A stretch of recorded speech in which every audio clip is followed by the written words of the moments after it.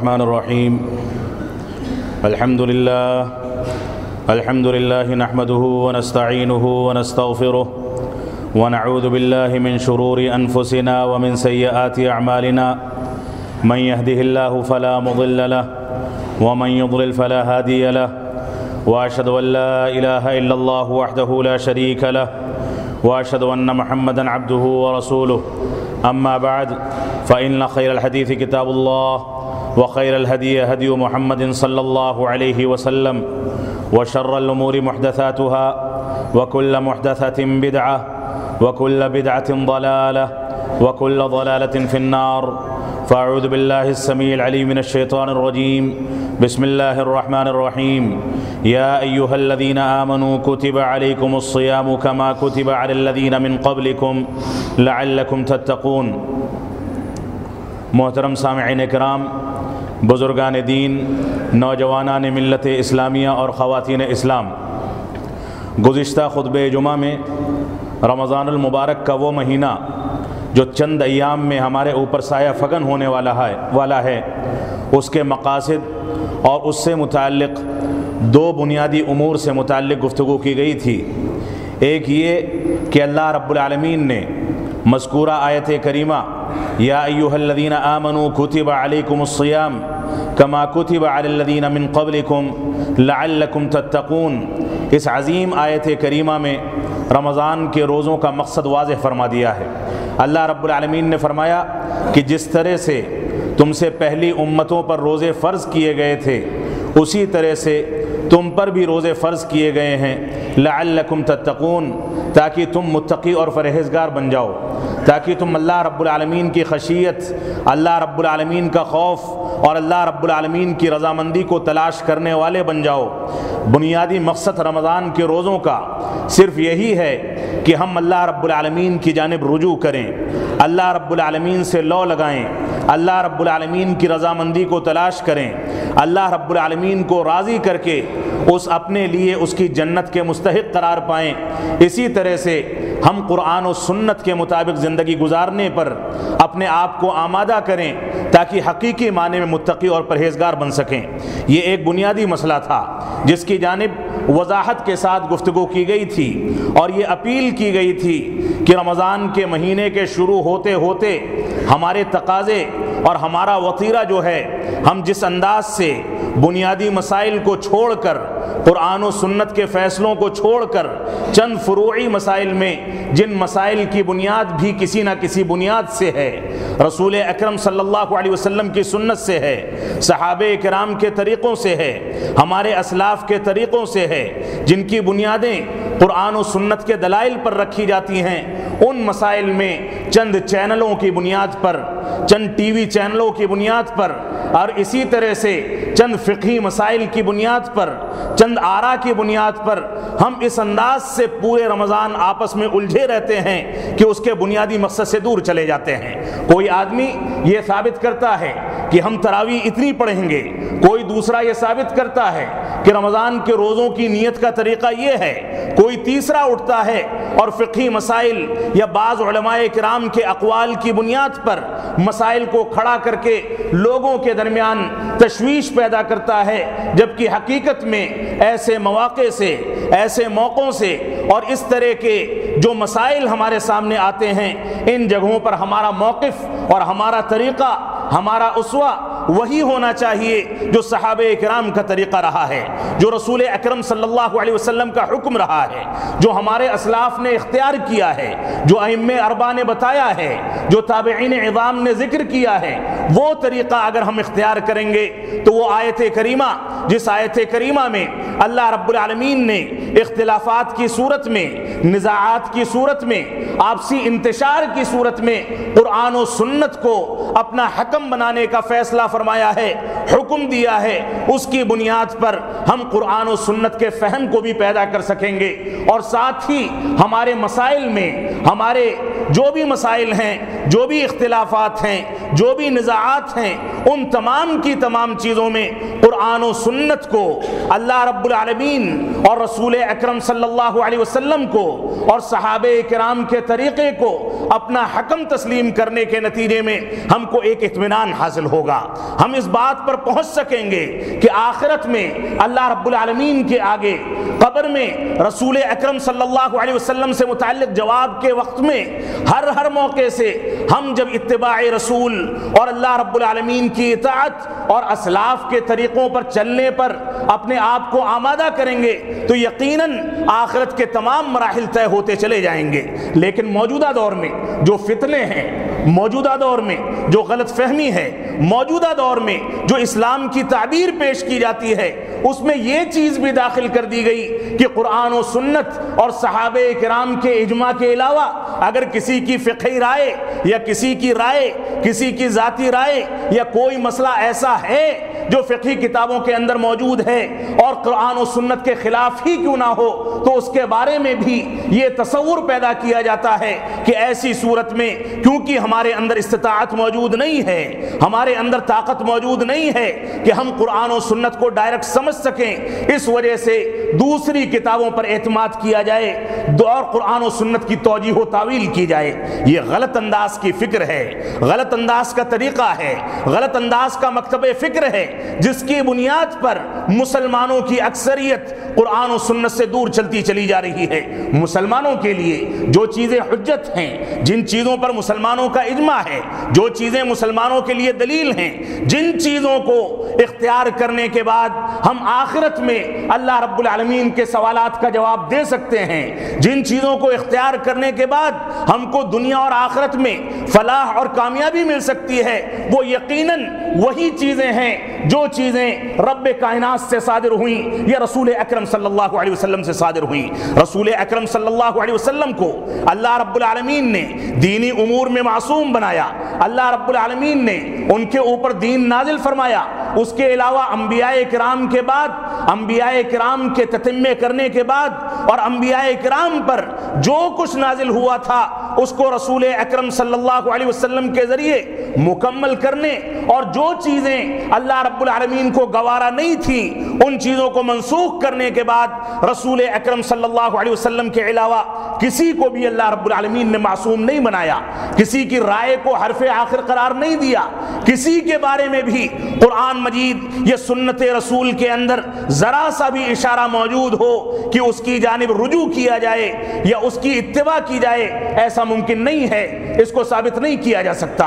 तो हमारे लिए जो चीज़ें फैसला कुन हैं, जो चीज़ें फैसला करने वाली हैं, जिन चीज़ों को इख्तियार करना हमारा मजहबी फरीज़ा भी है, हमारा अखलाकी फरीज़ा भी है, हमारे अकीदे का भी फरीज़ा है हमारे फ़जाइल का भी फरीज़ा है, हर चीज़ों का फरीज़ा है, वो सिर्फ़ और सिर्फ़ ये है कि हम कुरान मजीद और सुन्नत रसूल और सुन्नत रसूल और कुरान मजीद की फ़हम पर मबनी सहाब कराम के उन मसाइल पर मुतफ़ हो जाएँ, जिन मसाइल पर सहाब कराम ने इजमा नकल किया, ये इत्तेफाक नकल किया। आइम अरबा का यही मसलक है, सारे के सारे फ़ुकहा कराम का यही मज़हब है, हमारे असलाफ का यही तरीका रहा है, उनकी यही राय रही है। और इसी उसूल को बयान करके इन लोगों ने दीन के तमाम मसाइल को हल किया है। लेकिन मौजूदा दौर में तकवा और परहेजगारी, जो रमज़ान के रोज़ों का बुनियादी मकसद है, उसको बालाए ताक रख के हमारा पूरा का पूरा महीना आपसी इख्तलाफात में, आपसी झगड़ों में, आपसी निज़ात में, एक दूसरे के खिलाफ रस्साकशी करने में, एक दूसरे के खिलाफ फतवेबाजी करने में और इसी तरह से सोशल मीडिया हो या जो भी वसाइल हों, सारे के सारे वसाइल पर आप देख डालें पूरे रमज़ान में जिस तरह से मुसलमान एक्टिव हो जाता है, अगर वो अपने दीन के दिफा के लिए, कुरान और सुन्नत की नशोशात के लिए, कुरान और सुन्नत से मुसलमानों को करीब लाने के लिए, अपने ख़ानदानों की असलाह अपने बच्चों की असलाह अपने मातहतों की असलाह और इसी तरह से जो उसके मुतलकिन अजदिका और अकरीबा हैं, उनकी असलाह के लिए उतनी एनर्जी सर्व करे तो ऐसी सूरत में यकीनन कम अज कम रमज़ान के एक महीने के नतीजे में, अगले ग्यारह महीनों के लिए ऐसे माशरे को तश्कील दिया जा सकता है, जिसकी बुनियाद पर यह कहा जा सके कि हिंदुस्तान में भी बसने वाले मुसलमान हकीकी माने में सीरत रसूल के तर्जमान हैं। हिंदुस्तान में भी बसने वाले मुसलमान हकीकी माने में इतबा रसूल के सच्चे तर्जमान हैं। हिंदुस्तान में भी बसने वाले मुसलमान हकीकी माने में कुरान मजीद के सच्चे तर्जमान हैं। ये कहा जाएगा, और जब मुसलमान मुसलमान की शक्ल में उभर कर सामने आए, मुसलमान सच्चे इस्लाम की पैरवी की शक्ल में उभर कर सामने आए तो दुनिया की कोई ताकत, चाहे उन मुसलमानों की तादाद एक और दो दो और चार चार और आठ ही क्यों ना हो, लेकिन अगर वो सच्चा मुसलमान है तो दुनिया की कोई तदबीर, दुनिया की कोई साजिश, दुनिया का कोई प्रोपगंडा, दुनिया की किसी भी अंदाज की ताकत मुसलमान को नुकसान नहीं पहुँचा सकती, क्योंकि रब कायनात का वादा है। अल्लाह रब्बुल आलमीन ने साफ़ तरीके से फरमा दिया, इन तंसुरुल्लाह यंसुरकुम वो कि अगर तुम अल्लाह आलमीन की मदद करोगे, कुरान और सुन्नत की पैरवी करके, अल्लाह आलमीन की मदद करोगे इत्तिबा रसूल के नतीजे में, अगर इत्तिबा रसूल करके और इसी तरह से कुरान और सुन्नत को हकीकी माने में इख्तियार करके तुम अल्लाह रब्बुल की मदद करोगे तो अल्लाह रब्बुल तुम्हारी मदद करेगा और तुम्हारे कदमों को जमा देगा हर हर जगह पर। यह अल्लाह रब्बुल का वादा है। हम झूठे हो सकते हैं, हमारा अमल झूठा हो सकता है, हमारा किरदार झूठा हो सकता है, हमारा वादा झूठा हो सकता है, हमारा फहम झूठा हो सकता है, हमारा कुरान और सुन्नत से मुतालिक उसकी जानब मंसूब करके जो मसाइल हम मुस्तमत करते हैं, उसमें हम गलत हो सकते हैं। लेकिन अल्लाह आलमीन का वादा, कभी ना झूठा हुआ है, ना हो सकता है, ना आइंदा कभी होगा। इस वजह से अल्लाह रब्बुल के वादे का पास लिहाज करना है। तो कुरान और सुन्नत की जानब रुजू किया जाए। वादा किया गया था कि उसी पस मंज़र में रमज़ान मुबारक के अहकाम मसाइल का तस्करा आपके सामने किया जाएगा। मुझको इस बात का अंदाज़ा है और इस बात का एहसास है कि कुछ मसाइल कुरान और सुन्नत की शरह में इस अंदाज के आएँगे जिस पर वावेला मचेगा, जिस पर चेमी गोइयाँ होंगी, जिसके बारे में तबसरे किए जाएँगे, जिसके बारे में गलत अंदाज के इत्तेहाम लगाए जाएँगे। लेकिन अल्लाह के वास्ते इस बात को समझ लें और मैं भी अल्लाह रब्बुल आलमीन को हाजिर नाजर जानकर इस बात के ऐलान करने को अपना फरीजा समझता हूँ कि यहाँ जो बातें कही जा रही हैं, वो कुरान और सुन्नत की तर्जमानी है। यहाँ जो बातें कही जा रही हैं, वो कुरान और सुन्नत का माना और मफहूम है। यहाँ जो बातें बताई जा रही हैं, वो रसूल अक्रम वसल्लम की सुन्नत और सहाबे कराम का उसवा है। उसके अलावा किसी तीसरी चीज़ की यहाँ पर गुंजाइश नहीं है। यहाँ पर कुरान और सुन्नत की इत्तिबा का हुक्म दिया जाता है। उसकी तर्जमानी की जाती है।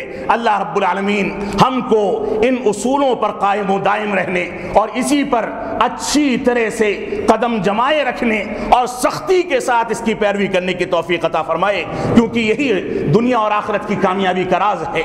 आपके सामने रमज़ान के बहुत से मसाइल आने चाहिए, लेकिन मैंने उसको तकसीम कर दिया है। अल्लाह रब्बुल आलमीन ने अगर तोफ़ीक दी और सेहत और मौजूदगी रही तो ऐसी सूरत में, आइंदा जुमों में भी रमज़ान के अहकाम मसाइल और रमज़ान से मुतल कुछ मसाइल और उसके कुछ फ़जाइल का तस्करा आपके सामने किया जाएगा। अल्लाह रब्बुल आलमीन हमको रमज़ान की बरकतों से, रमज़ान के फ़जाइल से और रमज़ान के जो फ्यूज़ हैं, उनसे भरपूर फ़ायदा उठाने की तोफ़ी अता फ़रमाए। रमज़ान का मकसद क्या है? ये आपके सामने ज़िक्र किया गया। बुनियादी मकसद पिछले खुतब जुमा में भी ये आया था कि दो बुनियादी चीज़ें रमज़ान के गिर्द घूमती हैं। एक ये कि रमज़ान के रोज़ों के ज़रिए से इंसान तकवा और परहेजगारी इख्तियार कर ले। और ये तकवा और परहेजगारी नहीं है कि रमज़ान का रोज़ा देखते ही नमाजों की पाबंदी शुरू हो जाए और ईद का चाँद देखते ही नमाजें फौत होने लगे। ये तकवा और परहेजगारी नहीं है। अगर किसी इंसान ने रमज़ान के महीने में नमाज़ की पाबंदी शुरू की है, रोज़ों की पाबंदी शुरू की है, तिलावत कलाम पाक का अहतमाम किया है और रमज़ान के बाद ईद का चाँद देखते ही वो तारिक सलात हो जाए तो यकीनी तौर से उसके बारे में फैसला किया जा सकता है कि रमज़ान के रोज़े भी उसके कबूल नहीं हुए। रमज़ान की नमाजें भी उसकी कबूल नहीं हुई। रमज़ान की तिलावत भी उसकी कबूल नहीं हुई। क्योंकि उसके दिल में इखलास नहीं था। उसके दिल में इखलास होता तो रमज़ान की इबादत का असर अगले ग्यारह महीनों भी नज़र आता। हो सकता है कि कुछ सुस्ती का शिकार हो जाता।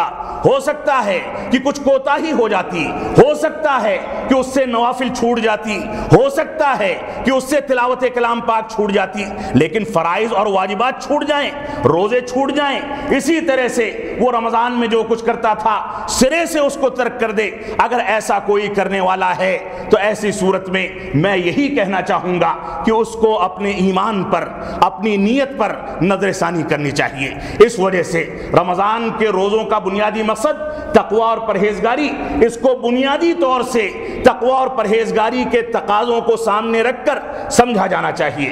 दूसरी चीज़ जिसके गिर्द रमज़ान के मसाइल घूमते हैं, वो ये है, जो अल्लाह रब्बुल आलमीन ने आयत करीमा फरमाया, शहरु रमज़ान कुरान कि रमज़ान ही का वो महीना है जिसमें हमने कुरान मजीद को नाजिल किया।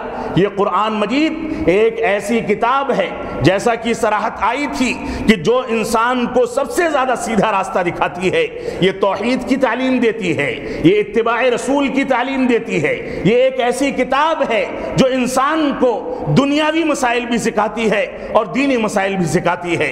ये एक ऐसी किताब है जो इंसान को साइंस के मसाइल भी सिखाती है और दुनिया में जो मेडिकल साइंस की शक्ल में या दूसरी तरक्की याफ्ता शक्लों में जो चीज़ें इख्तियार करके इंसान दन दनदनाता फिरता है, इन सारी की सारी चीज़ों की बुनियाद अगर आप तहकीक करें तो इसी कुरान मजीद पर रखी गई है। ये कुरान मजीद एक ऐसी किताब है, जिसको अल्लाह रब्बुल आलमीन ने इसी रमज़ान के महीने में नाजिल फरमाया। तो दो बुनियादी चीज़ें, एक तकवा और परहेजगारी, दूसरा कुरान मजीद को इख्तियार करना, कुरान मजीद को समझना, कुरान मजीद के तराजम पढ़ना, कुरान मजीद के मसाइल को समझना, कुरान मजीद की तिलावत करना, कुरान मजीद को अच्छी तरह से अपना ओढ़ना और बिछौना बना लेना यह भी रमज़ान का एक तकाजा है, जिसको इख्तियार करने के नतीजे में मुसलमान, हकीकी मुसलमान बन सकता है। अल्लाह रब्बुल आलमीन हमको दोनों चीज़ों को इख्तियार करने की तोफ़ी अता फरमाए। इसी तरह से रमज़ान के रोज़े क्या चीज़ हैं? रमज़ान के रोज़े, जैसा कि फ़ुकाए कराम ने इसकी तारीफ़ फरमाई है, कहा कि रमज़ान के रोज़े ये हैं कि तुलु फ़जर से लेकर, यानी जब फ़जर की अजान होती है, उस वक्त से लेकर गुरूब आफ्ताब तक, यानी मगरिब की अजान तक, इंसान उन तमाम चीज़ों से दूर रहे जिन चीज़ों से उसको दूर रहने का हुक्म दिया गया है, न खाए, न पिए न बीवी के साथ हम बिस्तरी करे, न किसी से लड़ाई झगड़ा करे, न फजूल अंदाज की गुफ्तगु करे, न झूठ बोले। इन तमाम की तमाम चीज़ें, जिन चीज़ों से अल्लाह रब्बुल ने उसको दूर रहने का हुक्म दिया है, उन चीज़ों से वो दूर रहे। ये रमज़ान के रोज़ों का हकीकी मकसद है और रमज़ान के रोज़ों की तारीफ़ है। अल्लाह रब्बुल आलमीन ने हमको इसी बात का हुक्म दिया। इसी तरह से रसूल अक्रम सल्लल्लाहु अलैहि वसल्लम फरमाते हैं, बुनियल इस्लाम खमसिन शहादत अल्लाह व अन्न मोहम्मद रसूलुल्लाह। कि इस्लाम की बुनियाद पाँच चीज़ों पर है। उन पाँच चीज़ों में जिस बिल्डिंग पर जिन खंभों पर इस्लाम नामी बिल्डिंग को खड़ा किया गया है, इस्लाम को तामीर किया गया है, जो पाँच बुनियादें रखी गई हैं, उन पाँच बुनियादों में से एक बुनियाद ये रमज़ान के रोज़े भी हैं। रसूल अकरम सल्लल्लाहु अलैहि वसल्लम फरमाते हैं, हर आकिलो बालिग पर जो इस्तात रखता है, जिसके पास कोई शरीय उज़्र नहीं है, उसके लिए सुबह सादिक से लेकर गुरूब आफ्ताब तक भूखा और प्यासा रहना और रमज़ान के तमाम मसाइल की इत्तबा करना उनको नाफिज करना, उनको फॉलो करना, ये हर मुसलमान की बुनियादी ज़िम्मेदारी है। और यही रमज़ान के रोज़ों की तारीफ़ है। अल्लाह आलमीन इसके मुताबिक हमको रमज़ान के रोज़ों की पाबंदी करने की तोफ़ी अता फरमाए। इसी तरह से एक मसला जो दो तीन रोज़ के अंदर हमारे सामने आने वाला है, वो रूयत हिलाल का मसला है। रूयत हिलाल के बारे में मुस्तकिल तौर से ये खबरें आती रहती हैं। और आजकल के दौर में हमारे बाज उन कम पढ़े लिखे नौजवानों ने इन चीज़ों को ज़रूरत से ज़्यादा रंग देने की कोशिश की है। जो लोग ये समझते हैं कि वो दीन के ठेकेदार बने बैठे हैं। माफ़ फरमाएँगे, अल्फाज सख्त हैं, लेकिन हकीकत यही है, बाज लोगों ने दीन की तर्जमानी करते करते अपने आप को आलिम दीन और मुफ्ती वक्त समझ रखा है, जबकि वो कुरान सुन्नत की बुनियादों से, उसूल तफसीर की बुनियाद से, उसूल हदीस की बुनियाद से कराम के अकवाल से, उन उसूलों से वाकिफ नहीं हैं, जिन उसूलों की बुनियाद पर तफसीर की जाती है, हदीस की शरह की जाती है, हदीस को हसन ज़यीफ़ मौजू या सही कहा जाता है। यह हसन लगैर ही या सही लगैर ही कहा जाता है। ये सारी की सारी असलाहत हैं, ये लोग वाकिफ नहीं हैं। आज के दौर में हमने क्या कर लिया? हमने ये कर लिया कि अपने सामने एक टीवी स्क्रीन खोली, खोल ली, अपने सामने कुछ सोशल मीडिया की वेबसाइट्स खोल ली, और उसके बाद उसके ज़रिए से जो कुछ मालूम हासिल हो गई, उसी की बुनियाद पर हम ये समझते हैं कि हमने दीन को समझ लिया। दीन को समझना इतना आसान काम नहीं है। बाज़ लोग गैर शर्य लिबास पहनकर, गैर शर्य फ़िक्र लेकर टीवी की स्क्रीन पर नमूदार क्या हो जाते हैं? उसकी बुनियाद पर हमारा नौजवान बिल्कुल वावेला मचाते हुए उसके पीछे इस तरह से दौड़ता है कि जो इंसान टीवी पर ज़ाहिर हो गया, वो इंसान हकीकत में हकीकी आलिम वही हो सकता है। मैं तो कहता हूँ, जो हकीकी आलिम होगा, आज के पुरफितन दौर में जो हकीकी आलिम होगा, आज के इस फितने वाले दौर में वो स्क्रीन पर आने को गवारा नहीं करेगा, जिस स्क्रीन पर मुसलमानों के खिलाफ साजिशें की गई, की जाती हों, जिस स्क्रीन पर मुसलमानों के उसूलों की खिलाफ वर्जी की जाती हो। लेकिन हमारे नौजवान ने इस चीज़ को अपने लिए दलील और हजत बना रखा है। माफ़ फरमाएँगे, ये हमारे लिए दलील और हजत नहीं है। दलील और हजत हमारे लिए कुरान मजीद कुरान मजीद और सुन्नत रसूल और उस तरीके पर, जिस तरीके पर सहाब कराम ने उसको समझा है। सहाब कराम के फहम पर कुरान सुन्नत को समझना, ये असल दीन है, ये असल दीन की तर्जमानी है। लेकिन मौजूदा दौर में, रूयत हिलाल के बारे में एक नया फतवा आए दिन अपने कान से टकराता है। आए दिन निगाहें उसको देखती हैं कि वहदत तोहीद रूयत का मसला, यानी मक्का मुकर्रमा में जब रूयत हो जाए, मक्का मुकर्रमा में जब चाँद नज़र आ जाए तो उसी बुनियाद पर पूरी दुनिया के अंदर ईद मनाई जाए, पूरी दुनिया के अंदर रमज़ान के रोज़े रखे जाएँ। इस सिलसिले में आप समझ लें कि रसूल अक्रम सल्लल्लाहु के अहद मुबारक में न ये तस्वुर था और न इस बात का इम्कान था कि कई कई हज़ार मील तक सोशल मीडिया नहीं थी, मीडिया नहीं था टेलीफोन नहीं था, मोबाइल फ़ोन नहीं था कि कई कई हज़ार मील तक चंद मिनटों में या एक एक रात में चाँद देखने के बाद कोई खबर पहुंचाई जा सके। और इसकी असलें मौजूद हैं, इसकी दलीलें मौजूद हैं कि एक सहाबी रसूल जो शाम में जिन्होंने रोज़ा रखना शुरू किया सीरिया के इलाके में, वो मदीना मुनवरा तशरीफ़ ले गए रमज़ान के दौरान। सहाबे कराम ने उनसे पूछा कि तुमने किस दिन से चाँद देख करके रोज़ा रखा? तो उन्होंने फरमाया कि मैंने सनीचर के दिन से रोज़े की इब्तदा की है। सीरिया में सनीचर के दिन से रोज़े की इब्तदा हुई थी। तो सहाब कराम ने यक जबान होकर कहा कि हमने मदीना मुनवरा के अंदर जुमा के दिन से रोज़ा रखा था। लिहाजा तुम्हारी रूयत तुम्हारे लिए है और हमारी रूयत हमारे लिए है। इन रिवायात का जवाब क्या दिया जाएगा? आप देखें वो रिवायत सूमूली रूयती ही व अफ्तरूली रूयती कि चाँद देख कर रोज़ा रखो और चाँद देख करके रोज़ा तोड़ो। मक्का में तुलू होने वाला चाँद, जहाँ पर औकात की, औकात का भी इख्तिलाफ पाया जाता है। ढाई घंटा पहले या ढाई घंटे के बाद जहाँ तुलू होता हो सूरज या चाँद, जहाँ सूरज और सूरज के इतिहाद का इम्कान ना हो, अमेरिका या बाज ममालिक जहाँ पर इस वक्त रात शुरू हो चुकी, वहाँ से यहाँ का इतिहाद कैसे मुमकिन किया जा सकता है? तो ये सारे के सारे मौजूदा दौर की जदीद राय हैं, जिनको अलग रखा जाना चाहिए। शरीयत इस्लामिया का फैसला यह है कि हिंदुस्तान में चाँद देखने वाले हिंदुस्तान के चाँद की रोयत का लिहाज करें। सऊदी अरब के लोग वहाँ की रोयत का लिहाज करें। यही शरीयत का फैसला है। लिहाजा रोयत के बारे में इस असल का पूरा अंदाज़ा हमको होना चाहिए। इस सिलसिले में शरीयत का जो हुक्म है, वो ये कि उनतीसवीं शाबान को चाँद देखने की कोशिश की जाए और अगर चाँद नज़र ना आए तो शाबान के तीस रोज़े मुकम्मल करके और उसके बाद रमज़ान की इब्तदा की जाए। रसूल अक्रम सल्लल्लाहु अलैहि वसल्लम के बारे में बाद सहाब कराम कहते हैं कि मैंने चाँद देखा और उसके बाद रसूल अक्रम वसल्लम को इस बात की खबर दी कि अन्नी तो हूँ कि मैंने उसको देखा है चाँद को। फसामा तो रसूल अक्रम वसल्लम ने रोज़ा रखा और लोगों को रोज़ा रखने का हुक्म दिया। ये रिवायत इस बात की वाज दलील है कि एक इंसान जो काबिल एतमाद हो, जो आदिल हो, जिसके ऊपर भरोसा किया जा सके, जो नमाजों का पाबंद हो, जो सच्चाई से काम लेता हो, ऐसा इंसान अगर चाँद को देख लेता है रमज़ान के चाँद को तो ऐसी सूरत में एक शख्स की गवाही रूयत हिलाल के बारे में काफ़ी है, जैसा कि सही अबू दाऊद की इस रिवायत से अंदाज़ा होता है। इसी तरह से रसूल अक्रम वसल्लम ने फरमाया, जब तुम चाँद देख लो तो चाँद देखने की दुआ पढ़ो। अल्लाहुम्मा अहिल्लहु अलैना बिल अमन वल इस्लाम बिल अमन वल ईमान व सलामती वल व सलामती वल इस्लाम। रब्बी व रब्बुक अल्लाह, ए अल्लाह रब्बुल आलमीन, अमन व सलामती के साथ इस चाँद को हम पर ज़ाहिर फरमा और इसी तरह से चाँद को मुखातब करके, इंसान उसकी जानब इशारा करके कहे, रब्बी व रब्बुक अल्लाह मेरा रब भी और तेरा रब भी, ये अल्लाह रब्बुल है। न मेरा कोई, अल्लाह आलमीन के साथ न तेरा कोई शरीक हो सकता है, न मेरा कोई शरीक हो सकता है।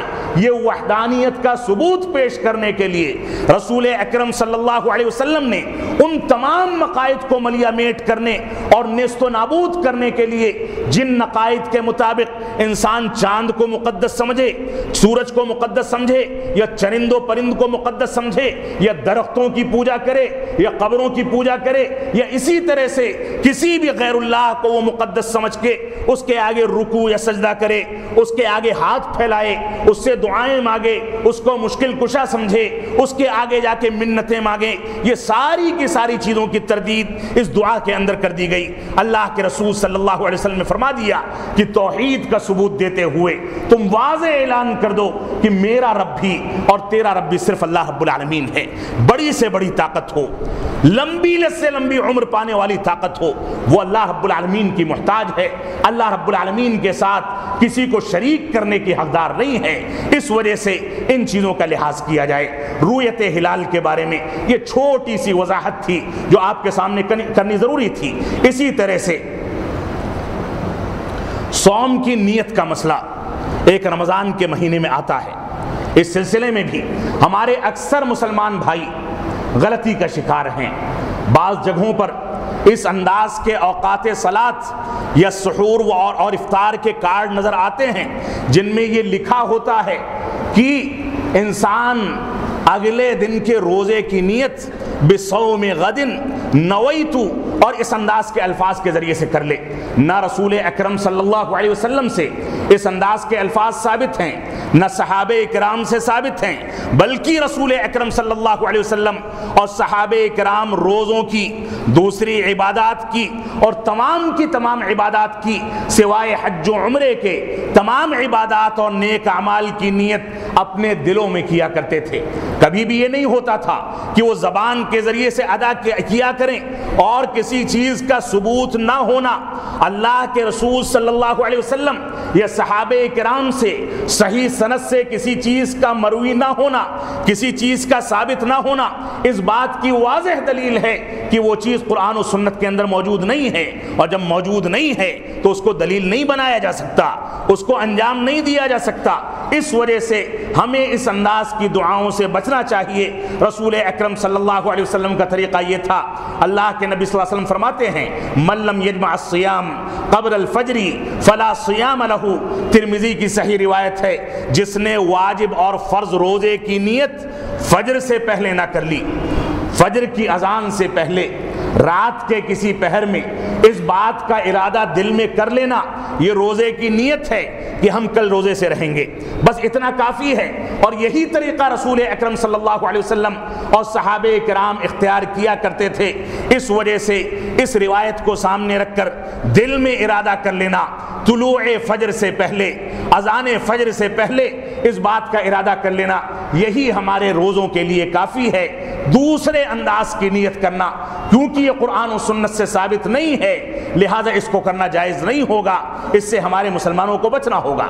इसी तरह से शहरी और इफ्तार के बारे में बाज़ मसाइल हमारे कार्डों में और हमारी तकवीम के अंदर लिखे होते हैं। लिखा होता है कि वक्त तो ये है, लेकिन एहतियात के तौर पर शहरी में पाँच मिनट तकदीम और इफ्तार में दो तीन मिनट ताखीर कर ली जाए। ये तकदीम व ताखीर किस चीज़ का नाम है? ये एहतियात किस चीज़ का नाम है? अगर आपको एहतियात करना है तो एक नमाज़ अदा करें और एहतियात के तौर पर उसी नमाज़ का अदा कर लें। अगर आपको एहतियात करना है तो एक रोज़ा रखें और एहतियात के तौर पर दूसरा रोज़ा भी रख लें कि पता नहीं पहला रोज़ा कबूल हुआ होगा या नहीं हुआ होगा। इस्लाम एहतियात का नाम नहीं है, इस्लाम यकीन का नाम है। इस्लाम तो इतने यकीन का नाम है कि अगर इंसान ने वज़ू करने पर यकीन हासिल कर लिया है। और उसके बाद आधा एक घंटे, दो घंटे, तीन घंटे के बाद उसको नमाज़ अदा करनी है। उसको शुभ हो जाए कि वज़ू बाकी है कि नहीं बाकी है तो कराम का और सहाब कराम का इजमा है कि ऐसी सूरत में उसको वज़ू को दोबारा करने की ज़रूरत नहीं है। क्योंकि यकीन जो है कि उसने वज़ू किया था, उसको शुभे की बुनियाद पर जायल नहीं किया जा सकता। वज़ू अगरचे जायल हो गया हो, लेकिन उसके जायल होने पर उसको यकीन हासिल नहीं है। शुभे की हद तक उसको शुभा है। इस वजह से वो नमाज़ अदा करेगा और अल्लाह रब्बुल आलमीन नमाज़ कबूल करेगा। तो इस्लाम और शरीयत ये एहतियात का नाम नहीं है शुभात का नाम नहीं है। इस वजह से रसूल अकरम वसल्लम की सुन्नत हमारे सामने होनी चाहिए। सहल बिन सैद रदी अल्लाह तआला फरमाते हैं कि, कुंतु अतसहरु फ़ी अहली, सुम्मा यकूनु सुरअतन बी अन उदरिक सलात अल सही बुखारी की रिवायत है। फरमाते हैं कि, मैं अपने अहलो अयाल और बच्चों के साथ सहरी करता था। और उसके बाद रसूल अकरम सल्लल्लाहु के पीछे सलात फजर अदा करने के लिए मुझको तेज़ी के साथ निकलना पड़ता था कि कहीं नमाज़ ना छूट जाए। ये सूरत हाल होती थी। वो लोग ताखीर से सहरी करते थे। इसी तरह से सहल बिन सद रज़ी अल्लाह ही फरमाते हैं, सही बुखारी की रिवायत है कि अल्लाह के नबी सल्लल्लाहु अलैहि वसल्लम ने शायद फरमाया, ला यजालन्नासु बिखैरिन मा अज्जलुल फित्र लोग उस वक्त तक खैर और भलाई में रहेंगे, सवाब के काम पर रहेंगे, उस वक्त तक भलाई को इख्तियार करते रहेंगे, जब तक इफ्तार में जल्दी करते रहें। जल्दी करने का मतलब यह है कि जैसे ही गुरूब आफ्ताब हुआ, फ़ौरन कुछ खा पी लिया, नीयतों से अल्लाह रब्बुल आलमीन वाकिफ है। उसमें ताखिर की जाए, एहतियात के नाम पर दो चार मिनट रुका जाए, इसकी इस्लाम में गुंजाइश नहीं है। लिहाजा इस सिलसिले में हमको रसूल अकरम सल्लल्लाहु अलैहि वसल्लम की सुन्नत का ख्याल करना चाहिए। ऐसे ही अल्लाह के नबी वसल्लम ने फरमाया तसहरू फ़िन फ़िसहूरी बरका, कि सहरी किया करो, क्योंकि सहरी में अल्लाह रब्बुल आलमीन ने बरकत रखी है। आज के दौर में तरावी से इंसान फारिग हुआ, नुक्कड़ों पर बैठ गया, आराम के साथ रात रात भर पाए और नहारी खाई गई और उसके बाद दो बजे, तीन बजे आराम से सो जाता है। डकार भी नहीं लेता और सलात फजर भी फौत हो जाती है। उसी रात की दो बजे और बारह बजे की सहरी को, उसी खाने को सहरी तस्वुर कर लिया जाता है। नऊद सहरी से ताखीर की सुन्नत, वो उससे जायल हो जाती है।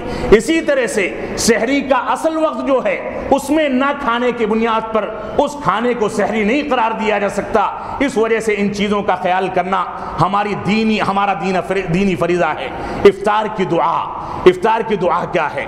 रसूल अकरम वसल्लम ने इस सिलसिले में हमको सिखाया कि जब इफ्तार करो तो इफ्तार करने के दौरान ये दुआ पढ़ा करो। जहब व सबत अजर इन अबू दाऊद की सही और हसन रिवायत है। जहब कि हमारी प्यास चली गई और इसी तरह से हमारी रगें तर हो गई। और अगर अल्लाह रब्बुल आलमीन ने चाहा तो इसका अजर और इसका सवाब साबित होगा। ये इफ्तार की दुआ है। इंसान इफ्तार को बिस्मिल्लाह पढ़ के शुरू करे और उसके बाद दौरान इफ्तार या इफ्तार से फरागत के बाद इस दुआ को पढ़े। यही दुआ सही सुन्नत से साबित है, सही हदीस से साबित है। लिहाजा इसी दुआ को पढ़ा जाना चाहिए। इसी तरह से अल्लाह रब्बुल आलमीन ने साइमीन के लिए रुख्सत भी रखी है। अल्लाह रब्बुल आलमीन ने फरमाया फमन कान मिनकुम मरीदन औ अला सफरिन फ़इद्दतुम मिन अय्यामिन उखर व अला अलल्लज़ीन युतीकूनहु फ़िदयतुन तआम मिस्कीन कि जो लोग सफ़र में हैं या जो लोग मरीज़ हैं उनको अल्लाह रब्बुल आलमीन ने रमज़ान के रोज़ों से रुख्सत दी है वो ख़वातीन जो हमल से हैं वो खवातीन जो अपने बच्चों को दूध पिला रही हैं, वो खवातीन जो नापाकी के अयाम में हैं, अल्लाह रब्बुल आलमीन ने उनके लिए रुख्सत रखी है, बीमार लोगों के लिए रुख्सत रखी, सफ़र करने वालों के लिए रुख्सत रखी कि वो लोग इन अयाम के छूटे हुए रोज़ों को रमज़ान के महीने के बाद कज़ा कर लिया करें। लेकिन ऐसे बीमार अफराद जो बाद में बहाल नहीं होते सेहत याब नहीं होते, उनके अंदर इतनी क़वत और ताकत नहीं आती कि वो रोज़े की कज़ा कर सकें। तो ऐसी सूरत में अल्लाह रब्बुल आलमीन ने फरमाया कि एक रोज़े के बदले एक मिस्कीन को एक वक्त का खाना खिला दिया जाए, ये उसका फिदिया है। इसी तरह से एक मसला जिसको इख्तसार के साथ मैं ज़िक्र करके यहाँ से रुख्सत होना चाहूँगा, वक्त ख़त्म होने को है, वो तरावीह का मसला है। जिस मसले पर सबसे ज़्यादा गर्मा गर्म बहस हमारे माशरे में की जाती है। एक जानब, तरावीह के बाद इंसान जब फुर्सत पाता है तो अपने घरों के अंदर सोशल मीडिया को, इंटरनेट को, या टेलीविज़न को चालू करके और उसके बाद उस पर बैठता है और दूसरी जानब उसके मोबाइल फ़ोन ऑन होते हैं। वो ऐसी सूरत में उन लोगों को फ़ोन करने की ताक में रहता है जो लोग ग्यारह रकात की पाबंदी करते हैं। ये कहता है कि देखो हरमैन में बीस पढ़ी जाती है। मक्का और मदीना की कोई एक मस्जिद बता दी जाए जिसके अंदर ग्यारह से ज़्यादा पढ़ी जाती हो। कोई एक वाकया दिखा दिया जाए कि अब से सौ साल पहले तक कभी हरमैन के अंदर ग्यारह रकात से ज़्यादा पढ़ी गई हो। रसूल अक्रम वसल्लम के दौर मुबारक में, सहाब कराम के अहद में ताबीन इज़ाम के अहद में, यहाँ तक कि अम अरबा के दौर में हमेशा वहाँ पर ग्यारह रकात की पाबंदी की जाती रही है और की जाती रही है, ये अलग मसला है। कभी वक्ती तौर पर चंद अयाम के लिए जायद पढ़ी गई हों, लेकिन ये सत्तर, अस्सी साल, सौ साल से यहाँ पर बीस रकात तरावी का जो मसला चला है वो भी किसी मजबूरी की बुनियाद पर है। असल हमारे लिए हरमैन का अमल नहीं है। हमारे लिए बुनियाद और हजत और दलील हरमैन का अमल नहीं है। हमारे लिए दलील जो है, वो रसूल अकरम सल्लल्लाहु की सुन्नत है। अम्मा आयशा सिद्दीक़ा तआला फरमाती हैं कि मा काना यजीद रसूलुल्लाह सल्लल्लाहु अलैहि वसल्लम फ़ी रमज़ान वला फ़ी गैरिही अला इहदा अशरा रकात अला इहदा अशरत सही बुखारी की रिवायत है कि रसूल अकरम सल्लल्लाहु अलैहि वसल्लम कभी भी माँ काना यजीदू का लफ्ज़ अरबी ज़बान में इस्तेमरार और दवाम के लिए पाया जाता है। फरमाया कि कभी भी न रमज़ान में रम, न रमज़ान के अलावा रात की नमाज़ को चाहे तरावी हो क़यामुल्लैल हो वित्र हो तहजद हो कोई भी नमाज़ हो इन नमाजों को ग्यारह रकात से ज़्यादा नहीं पढ़ते थे। और दुनिया का कोई भी फ़कीह अहनाफ को देख लें अहनाफ फ़ुकाए कराम को देख लें और अहनाफ के उन मुहदसिन को देख लें जिन लोगों ने सुन्नत की बुनियाद पर फैसले किए हैं। सबका इजमाही फैसला है कि रसूल अकरम सल्लल्लाहु अलैहि वसल्लम से ग्यारह रकात से ज़्यादा साबित नहीं है। अगर सबूत है तो वो सहाब कराम से है। लेकिन इस बात पर भी मुहदसिन का इजमा है कि सहाब कराम से जो भी रिवायतें, ये जो भी आसार मनकूल हैं, बीस रकात के बारे में, वो सारे के सारे ज़यीफ़ हैं। आप देखें, जिसको बुनियाद बनाकर सारा वावेला उठता है, वो मुअत्ता की एक रिवायत है। मुअत्ता की रिवायत में उबई बिन काब और तमीम दारी रदी अल्लाह को, इन दोनों सहाब कराम को, उमर बिन ख़त्ताब रदी अल्लाह तहों ने अपने दौर खिलाफत में इस बात का हुक्म दिया कि तुम लोग तरावी का क्याम करो और सहाब कराम तुम्हारे पीछे पढ़ें। इस सिलसिले में मुअत्ता इमाम मालिक में दो रिवायतें पाई जाती हैं। एक रिवायत वो है, जिस रिवायत के तमाम रुआत फ़िका हैं, तमाम रुआत काबिल एतमाद हैं और वो रिवायत बिल्कुल सनदन सही है। उस रिवायत के अंदर इस बात का सबूत मिलता है कि उमर बिन खत्ताब रदी अल्लाह ने सहाब कराम को ग्यारह रकात पढ़ा, तरावी पढ़ाने का हुक्म दिया था और यही रिवायत सही है। इसके अलावा दूसरी रिवायत है जिसमें अब्दुल रजाक नामी एक रावी हैं। वो रावी अगरचे काबिल एतमाद हैं, लेकिन उनको इख्तलात वाक़ हो गया था। उनका हाफजा कमज़ोर हो गया था और आखिरी उम्र में उनकी बीनाई चली गई थी, जिसकी बुनियाद पर सहाबे, जिसकी बुनियाद पर मुहदसिन कराम ने उनकी रिवायतों को ज़यीफ़ करार दिया है। वो रावी उस रिवायत के अंदर मौजूद हैं। इसकी बुनियाद पर बीस रकात वाली रिवायत ये ज़यीफ़ है और काबिल अमल नहीं है, नाकाबिल हजत है। इस वजह से उसको दलील नहीं बनाया जा सकता। और सहाब कराम के जो भी आसार हैं, वो सारे के सारे आसार ज़यीफ़ हैं। अल्लाह रब्बुल आलमीन का फरमान है, या अय्युहल्लज़ीना आमनू, अतीउल्लाह व अतीउर रसूल, व उलिल अम्रि मिनकुम फ़िन तनाज़ा तुम फ़ी शईन रसूल। इस्लाम ने हमको ये फैसला सुनाया है। इस्लाम का दो टोक फैसला क्या है? उसको सुनते चलें कि अगर तुम्हारे दरमियान किसी चीज़ में इख्तलाफ हो जाए, रकात तरावी में हो, नमाजों के तरीक़े में हो, हज के मसाइल में हो, ज़क़़त के मसाइल में हो तिलावत कलाम पाक के मसाइल में हो लेन देन के मसाइल में हो, एक दूसरे से रिश्तेदारियों के मसाइल में हो, किसी भी चीज़ में इख्तलाफ हो जाए, अल्लाह रब्बुल आलमीन ने फैसला कर दिया फ़िन तनाज़ा तुम फ़ी शईन फ़रुद्दू रसूल, के अपने मामलात को अपने झगड़ों को अपने इख्तलाफात को अपने निज़ात को, अपने मसाइल को, जिसमें तुम आपस में लड़ भिड़ पड़े हो, उन चीज़ों को अल्लाह और उसके रसूल के हवाले कर दो। अगर अल्लाह रब्बुल आलमीन के हवाले किया जाए तो देखा जाएगा कि कुरान मजीद खामोश है। लेकिन कुरान मजीद ये कहता है कि तुम इतात रसूल करो। कुरान मजीद बार बार ये कहता है कि तुम अपने मसाइल में रसूल अक्रम सल्लल्लाहु अलैहि वसल्लम के मसाइल को इख्तियार करो। उनके ज़रिए से राह नजात को तलाश करो। रसूल अक्रम सल्लल्लाहु अलैहि वसल्लम की पैरवी करो। और ये भी कहता है कुरान मजीद कि अगर तुमने इतबा रसूल को छोड़ दिया, अल्लाह के रसूल सल्लल्लाहु अलैहि वसल्लम के तरीके और वतीरे को छोड़ दिया, उसकी मुखालफत कर दी तो ऐसी सूरत में आसमान से अल्लाह रब्बुल तुम्हारे लिए अजाब नाजिल करेगा, जिसकी बुनियाद पर तुम तबाह बर्बाद कर दिए जाओगे। तो आयत करीमा में यह कहा गया कि अपने मसले को अल्लाह के रसूल की जानब लौटा दो और अल्लाह के रसूल अलैहि वसल्लम की वो रिवायत जो सही बुखारी की रिवायत है, अम्मा आयशा ने ज़िक्र की है, उसका तस्करा मैंने आपके सामने किया। वो रिवायत हमारे दरमियान फैसला कुन है और फैसला करती है कि हमको तरावीह के मसले में रसूल अक्रम अलैहि की जानब रुजू करना चाहिए। हरमैन का अमल हरमैन में नमाजें पढ़ाने वालों का अमल, इसी तरह से हरमैन में जो कुछ किया जाता है, वो हमारे लिए हजत नहीं बन सकता। और अगर तरावी हजत बनती है तो वहाँ रफलदैन भी किया जाता है। अगर तरावी हजत बनती है तो वहाँ आमीन भी ज़ोर से कहा जाता है। अगर तरावी हजत बनती है तो अब से सौ साल पहले तक रसूल अकरम सल्लल्लाहु की कब्र का तवाफ भी किया जाता था। उस पर चादरें भी चढ़ाई जाती थी, उसको पूजा भी जाता था, उस पर सजदे भी किए जाते थे। अगर वहाँ का अमल हुज्जत है तो क्या यह भी हुज्जत बनेगा? हरगिज नहीं। हमारे लिए जो चीज़ हजत है, वो या तो कुरान मजीद है, या सुन्नत रसूल है। हरमैन में बहुत से ऐसे अमल हैं, जो कुरान और सुन्नत के में उसका सबूत नहीं मिलता, उसके बावजूद वहाँ की रीत और रिवाज और वहाँ का तरीका जो चला आ रहा है, उसी की बुनियाद पर वहाँ के लोग उसको आज भी अंजाम देते हैं। लेकिन कुरान और सुन्नत में उसकी दलील मौजूद नहीं है। तो कुरान और सुन्नत में दलील मौजूद ना होने की बुनियाद पर, सिर्फ़ इस बुनियाद पर कि वहाँ पर वो अमल किया जाता है, उसको हजत नहीं माना जा सकता। अम अरबा का इस बात पर इजमा है कि हरमैन का अमल हमारे लिए हजत नहीं है।